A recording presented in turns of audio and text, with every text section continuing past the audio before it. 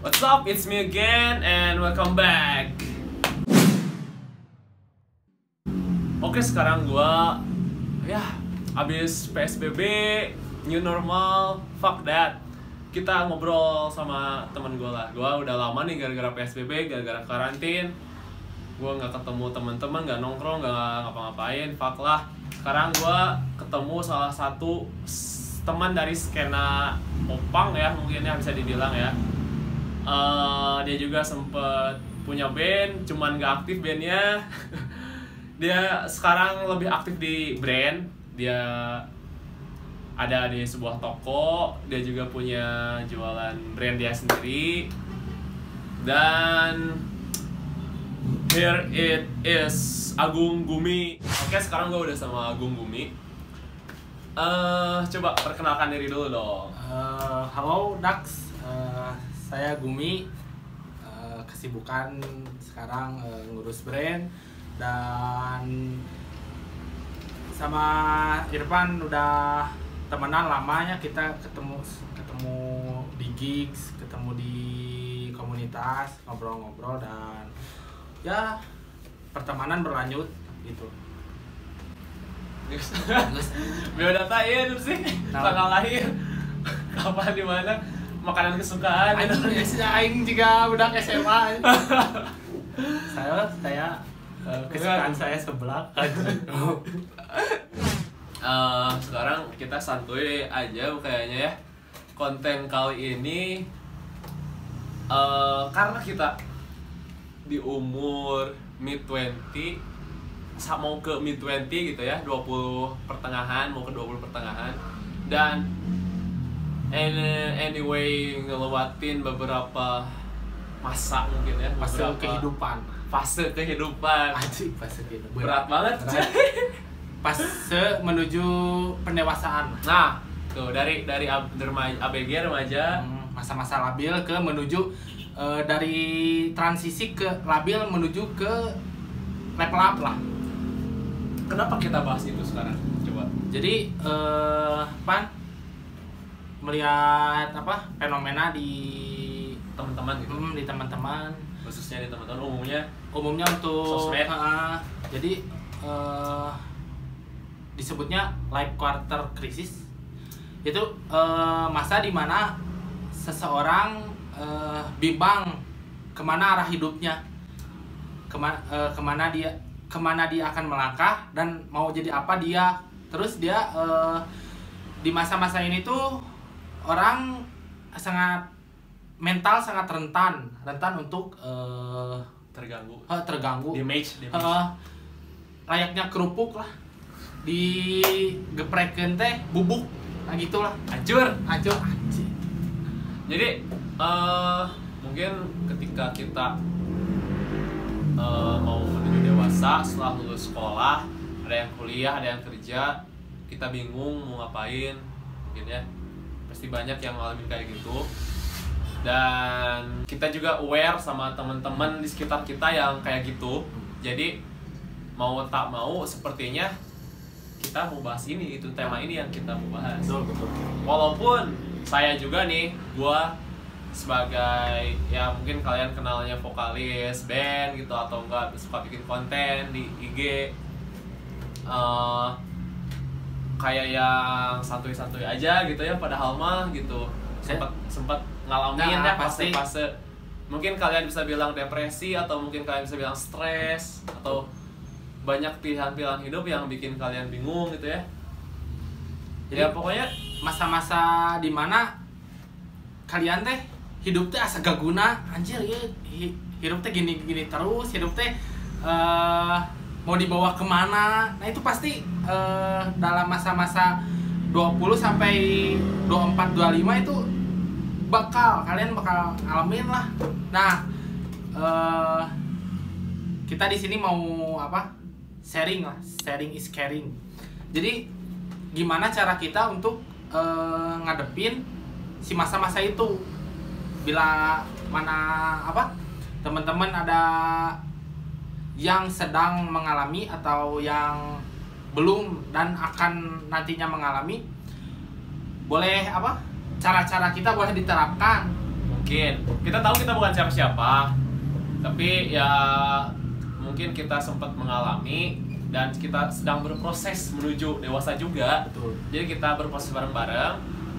Jadi mungkin ada baiknya kita sharing gitu kan ya? Betul betul. Oke yang pertama apa? Yang pertama apa nih? Menanggulangi atau misalkan nih secara garis besar? dulu dulu seorang Agung Bumi itu Hmm. eh, fase life crisisnya pas kapan pas momen apa gitu dan pikiran pikiran Agung tuh gimana gitu sharing dulu aja. Mulai quarter krisis eh, berada di dua tahun ke belakang lah. Jadi eh, masa-masa di mana ses- seseorang di press dari lingkungan dari keluarga dari dari semua apa dari semua segi aspek kehidupan di dihantam di di di dia. Eh, pertamanya ini eh gak punya uang terus eh, punya gak- mimpi. punya mimpi terus orang-orang yang orang-orang sekitar tuh ah maneh mah mal bisa. Ah maneh mah gawe mending ge gawe di pabrik atau gimana lah. Lo gak akan bisa katanya. Lo mending gawe lo mending kerja di pabrik jadi buruh atau gimana. Eh, eh, mimpi lo buang aja gitu. Anjir men. Wah parah parah parah bisa. Jadi eh, ketika sebutlah terpuruknya pan.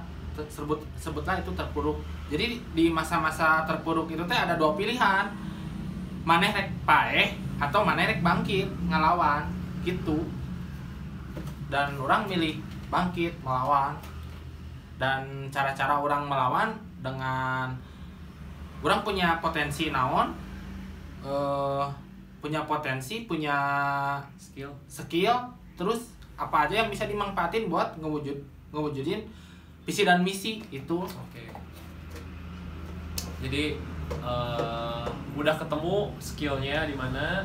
Berarti strength kita tuh udah ketemu ya? Nah, strength kalian kalian harus temuin dulu. Pasti kalian punya. Misalkan jago gambar atau jago speak jago apa public speaking nah, gitu public kan. speaking.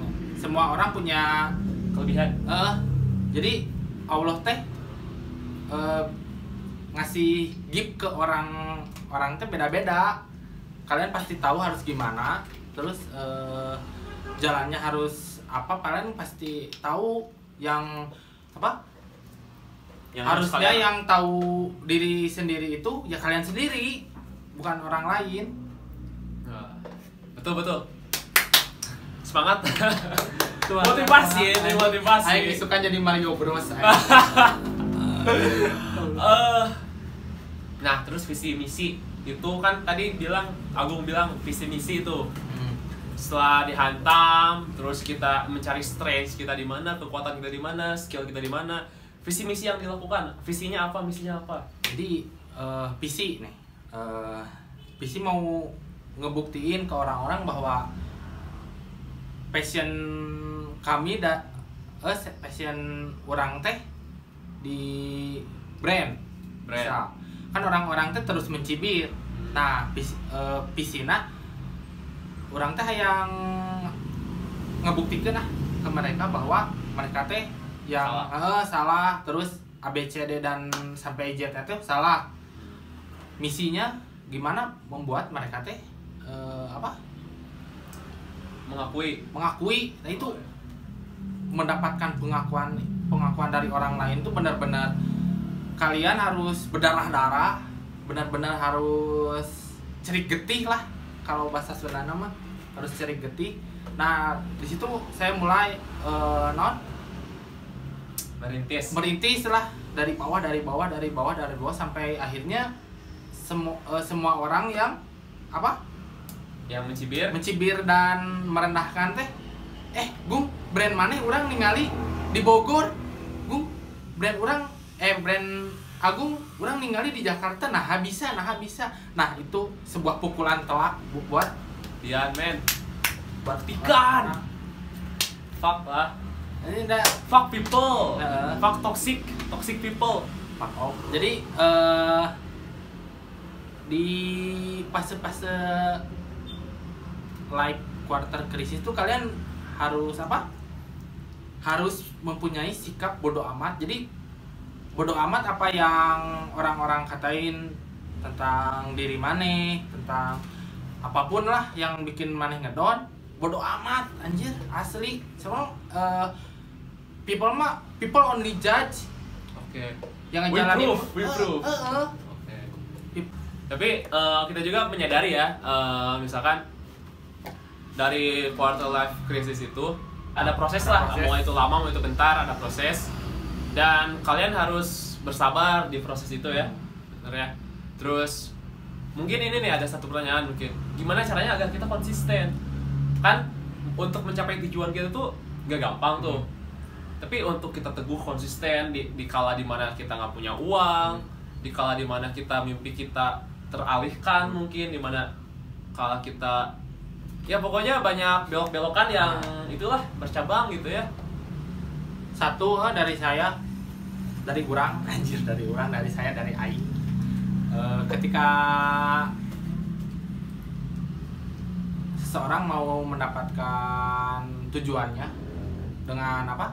Dengan menumbuhkan konsistensi dan bagaimana konsistensi itu terus ada di diri seseorang keinginan desire. Tak keinginan keinginan mana kuat untuk untuk apa untuk menggapai sesuatu itu udah itu aja. Berarti kita balik lagi ke mimpi kita. Tulis mimpi kalian di notes HP kalian misalkan ya. Atau jadiin jadiin wallpaper sekalian. Bener bener. Dijadiin wallpaper ditempel di kamar. Jadi ketika kita bangun tidur eh, ayo semangat. Kamu eh, harus menggapai ABCD eh kurang gitu. Di, di kamar orang ketika orang bangun lawan rasa malas eh, ingat apa yang kamu mau men tulis. Not tuh. Anjir. Lawan rasa malas ingat keinginanmu. Ingat mimpi-mimpimu mungkin ya. Asli itu jadi eh, si kata-kata itu bakal tertanam di alam bawah sadar.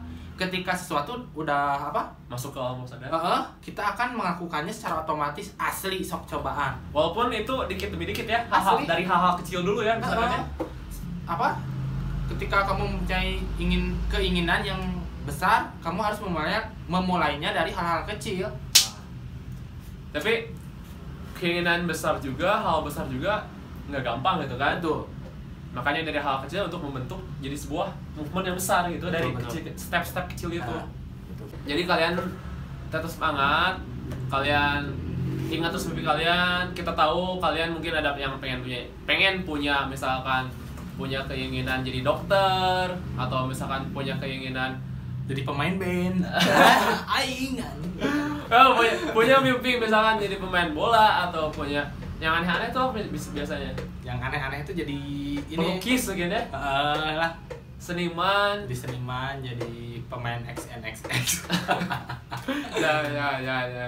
Jadi jadi misalkan jadi punya yang suka otomotif bentar pengen punya bengkel mungkin ya bengkel tuh bagus tuh Se- sehari misalkan semua orang tuh punya Punya kendaraan- motor. Eh, punya kendaraan bermotor jadi ketika kamu masuk ke bengkel kita ngeluarin seratus ribu kan eh. lumayan anjir uangnya gede anjir Parah.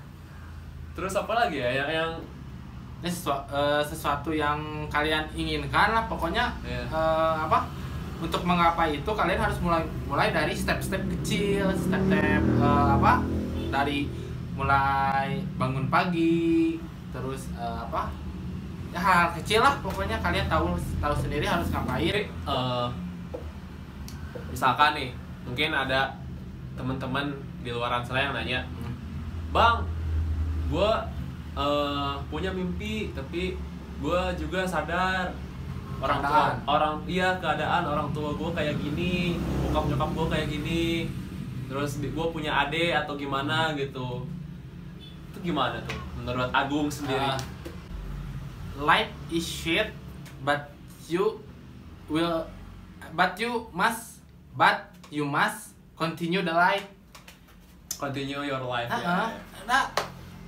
hidup kalau gak ada cobaan hidup kalau gak ada apa rintangan lain hidup atuh. Tapi ini btw nih latar belakang Agung sendiri gimana nih awalnya latar belakang. Dari mungkin ya sorry dari keluarga atau punya saudara. Orang latar belakang mah eh emo emo sekali nya maksudnya emo Sad. emo teh sad boy lah sad boy dalam artian aing broken home anjir nya aing eh, non dari ke- dari kecil udah ditinggalin sama bapak eh. broken home pisan lah terus menuju ke remaja percintaan aing nggak Mulus. nggak mulus terus menuju ke dewasa eh nya di masa quarter krisis itu Sosial. eh, di sosial teh aing teh di bener-bener dibubukeun lah tapi apa yang mem- membuat seseorang kuat ketika dia bisa me- na- eh, melewati rintangan rintangan yang berat Itu, men.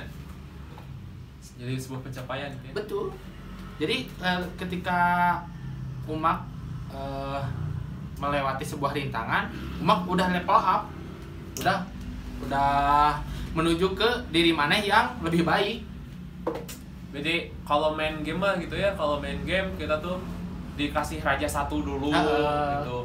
Beres level 2, kalian naik tuh, naik tingkat naik kan. tingkat kesulitan lebih Nah, nambah itu harus siap dulu, harus siap juga gitu kan. Hmm. Jadi intinya eh kita atau kalian yang merasa mungkin sedang di bawah, sedang terpuruk, it's okay. It's okay to be not okay gitu ya. Iya. It's fine to not feeling fine. kata Uus juga kalau hidup terus-terusan bahagia hambar anjir Iya. hambar Jadi emang kita harus ngalamin di bawah, pasti ada bahagianya juga gitu kan. Betul. Dan dimulai dari step yang kecil ya. ya step yang kecil misalkan mimpi kalian eh, pengen punya studio band ya berarti kalian harus mendekati atau punya teman gitu ya, yang minimal yang punya studio rekaman di Ah. rumah gitu ya. Benar-benar atau kalian pengen punya brand ya kalian mainnya ke toko gitu kan? Atau apa pun kalian- yang apa pun yang kalian inginkan harus relate dengan eh, step apa? yang kalian pilih. Heeh, benar.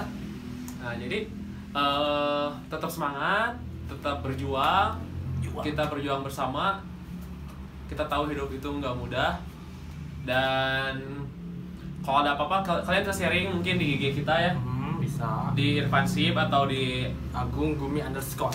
Oke. Ah, mungkin segitu aja. Dan makasih lo udah nonton. Ini lumayan berbobot di konten ini obrolannya. Berat. Itu dong. Ah thank you Gung dan mungkin segini aja. Gue jangan lupa like and subscribe share. See you